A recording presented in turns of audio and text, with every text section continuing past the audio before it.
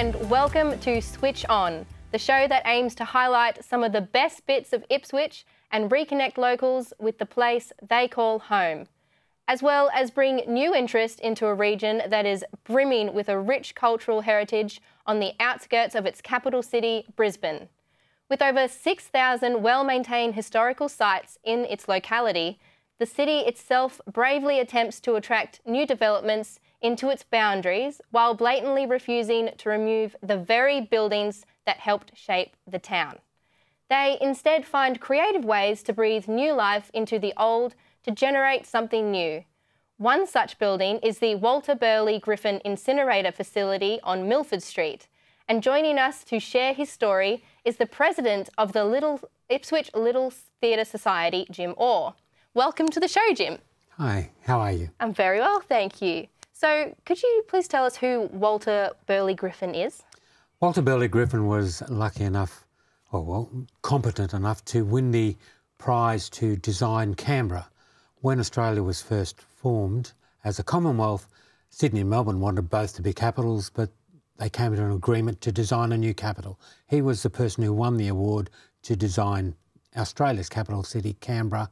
He also ran a business called the Reverberator Incinerator Company, which uh, designed incinerators to use in uh, municipalities. There's the beautiful word that uh, needed to dispose of their rubbish.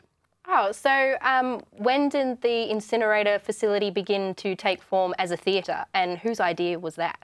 Well, it was originally uh, constructed in 1926 and operated until the late 50s as an incinerator. In the 60s, it was uh, about to be destroyed, uh, pulled down because it had become derelict. Uh, a person from the Arts Council in Ipswich uh, identified that the building could be possibly transformed into a theatre, and a gentleman called Ian Puller was the engineer who designed the construction to be able for the building to be turned into a theatre. And since the 60s, we have been in this, this building. In fact, our first play was performed in, nine, in uh, 60 years ago to this year. Oh, wow. So um, I hear that an incinerator building is small. What kind of plays do you fit in that space? We can fit almost anything in there. We've done in, everything from Shakespeare to uh, two-handed plays. We can fit five different scenes onto the stage at any one time. Usually we ask audiences in theatre to suspend disbelief. So we want you to believe in what you're watching on stage, and audiences tend to do that at live theatre. Oh, wow. And how does the whole theatre contribute to the community of Ipswich? The Ipswich Little Theatre contributes to Ipswich in many ways. It has uh, a, a, number of uh, subgroups, uh, one being S Troop, which is S for special, which looks after people with disabilities of all ranges. There's uh, anywhere from 30 to 35 uh, people with disabilities. There's also a junior theatre group. There's also a teenage theatre group. There's also a, a, senior group that does pantomimes for schools and for children. Oh, wow, that's so fascinating. Thank you so much for that information. Um, and also, congratulations on your play Bubbles winning the best play in the One Act Festival last weekend. Mm, it was lovely. We've been travelling around southeast Queensland uh, performing in a one act play festival circuit. We've won awards uh, either for acting or for the play itself in almost every festival. Oh, wow, congratulations. Mm. Thank you very much, Jim. Thank you. For more information on the Ipswich Little Theatre Association and the plays they put on for the Ipswich community, visit www.ilt.org.au.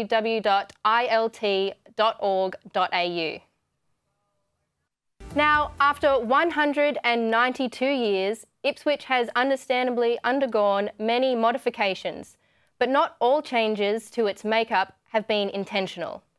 Ipswich has seen its fair share of natural disasters, and without a doubt, one of the most devastating to the city and its community was the 2011 floods.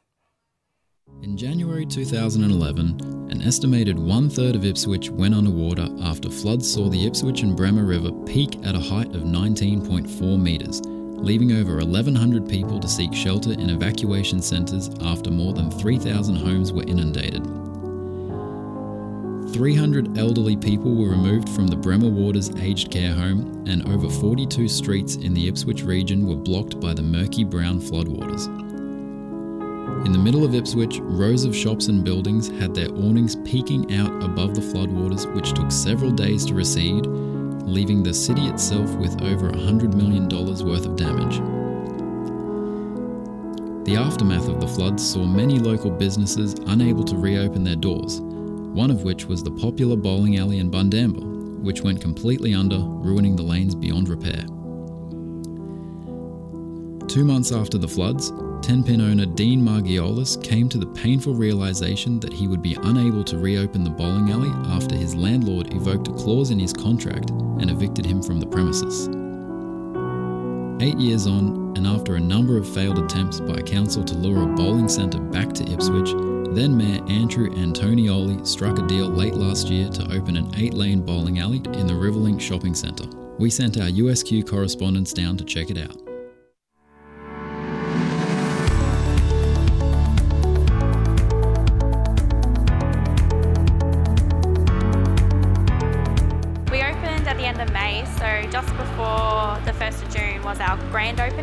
Soft opening on the 25th. So we're going to open almost three months now.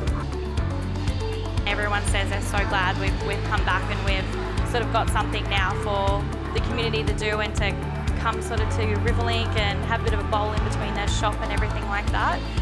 We've got over 50 arcade machines. They're all different types. We also offer a full, fully licensed bar with cocktails, spirits, different beers as well. Lots for, for everyone to do between the arcade and the bowling, the bowling lanes. Um, everyone seems to have a really good time here. Everyone's very interested in um, starting up a bowling league. It's something we get a lot of interest in. We're sort of looking at establishing that in the future. Everyone sort of spoke to us about how they used to do it at um, the Bundamba one before it was flooded. So we get a lot of stories about that and just a lot of regular people come in um, during the day while school's going and sort of um, come every week to, and they really enjoy it. We're very busy on the school holidays. Um, it just sort of gives the kids something to do and parents and yeah, a bit of family time. It'd just be great to have a good fun and family environment for people to come in and sort of catch up as well um, and just sort of hang out. iPlay Ipswich is now open, so get your friends together and head over to the Riverlink shopping centre to check it out for yourself. Now, if music is more your style, we caught up with Callan and Russell, hosts of the popular Phoenix radio program Emerge, a show that brings you the latest news on all things local music. Let's take a look.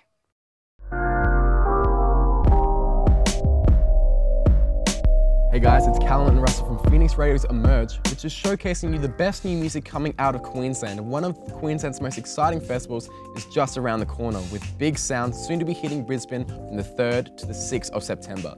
The Big Sound Festival and Conference will be bringing a diverse mix of 150 artists from all kinds of genres and backgrounds right to your doorstep. And here at Emerge, we'd love to help recommend just a small number of those and uh, some of our three quite favorite Queensland artists that you need to be checking out during Big Sound. Calmus first.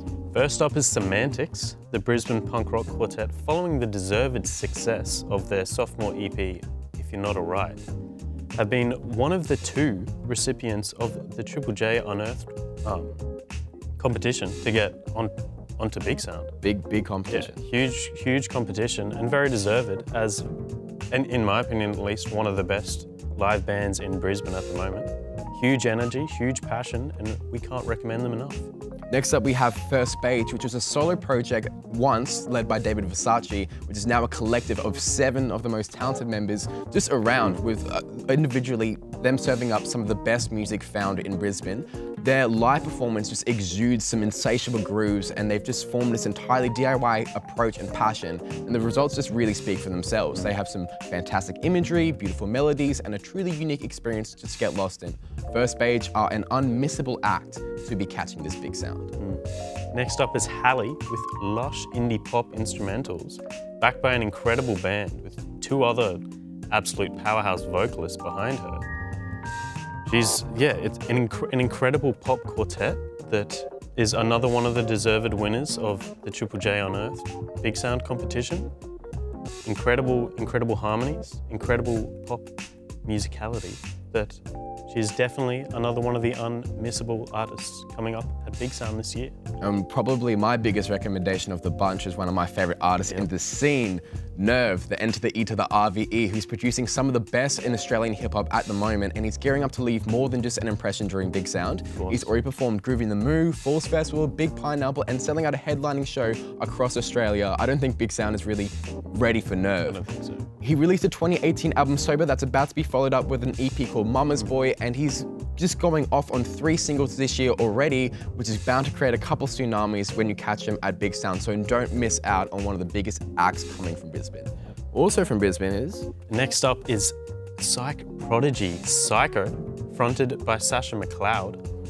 Incredibly, incredibly only 17 years old, she released a debut album last year and quickly followed that up with Tamed Grief, her latest single, and deservedly is among some of the some of the incredible Australian artists at this year's Big Sound.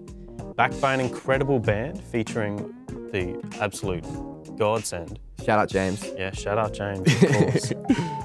There's, if you like psychedelic or even soul music, you can't miss Sycco at this year's Big Sound. And our final recommendation of the bunch is the wonderful Gold Coast-based Dana, who has already been a favorite of the likes of Tkay Maidza and has over a million streams on Spotify of just two singles alone. She's a self-produced rising star with a soothing electronic sound that crafts this, this unique and relatable, attention-grabbing tracks, tracks all around. Uh, with only two tracks released, you're bound to be doing yourself a favor by catching more from this awesome artist at Big Sound. So make sure you head down. There's a whole lot more to see. And we can't wait to hear what your favorites are coming up on the 3rd to the 6th of September. For more information on Big Sound, on live music and gigs, make sure you hit up Emerge every Monday night, 7 to 9 p.m. on Phoenix Radio, 11.97 a.m. and Digital Radio.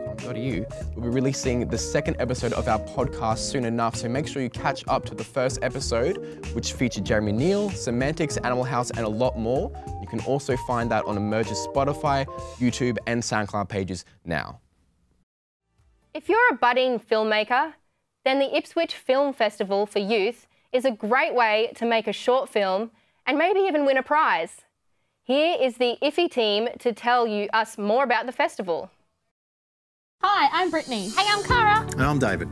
The 2019 Ipswich City Council's Ipswich Film Festival for Youth short film competition for kids aged 7 to 25 years is now open. This year's competition has been split into three age groups 7 to 11 years, 12 to 17 years, and 18 to 25 years.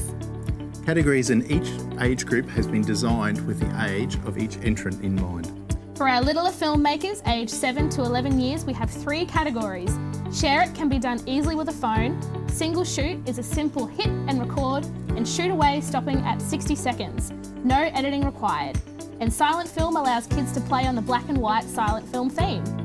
Our middle and senior school filmmakers have three categories documentary, where they can play on the theme of what our future might be, sci fi with all things sci fiction, and schools entry for school groups. Our 18 to 25 years, they also have three categories documentary, where they can play on the theme of what they feel a future may look like, music video using the track Evolution from Bensound, and an animation stop motion category. There's also a prize of a GoPro Black for the overall winner of each age group, three to be given away in total. For 2019, our entrance films will be shown on the big screen at Rebel Domain Saturday, October 19. Screening and the IFFY Awards will kick off from 2pm for the 7 to 11 year olds, 4pm for the 12 to 17 year olds, and 6.30 for the 18 to 25 year olds. USQ media students will be on site as a presenting partner and will run the day as a live studio event. Springfield Markets will also be supporting the event at Rebel Domain with a great selection of market and food stalls. Competition closes Friday, September 20. For more details on the competition, including the competition theme and T's and C's, visit the website ipswich.qld.gov.au forward slash IFFY. Well, that's all the time we have for our debut episode of Switch On. If you have any stories you'd like us to look into, you can reach us on Twitter via the hashtag SwitchOnStories or on Facebook at SwitchOnStories. I'm Annie Petts, and you've been switched on.